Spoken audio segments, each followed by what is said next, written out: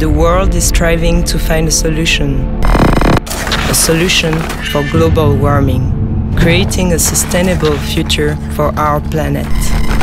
It's Mike Horn's playground. His life, his blood, his passion, his passion. He has the drive, the courage.